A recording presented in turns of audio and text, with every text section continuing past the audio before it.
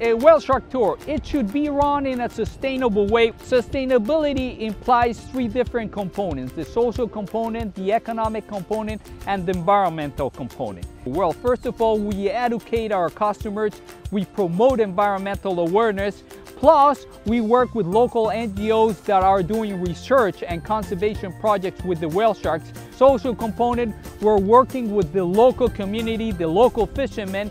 So we're not only helping socially to have a better quality of life to the fishermen, but again, it connects to the environmental component because we are reducing the amount of fish Uh, effort that's been done in the ocean. And well, obviously all this connects to the economic situation because again, this local community is having a higher income as well as all the persons that participate with the whale shark.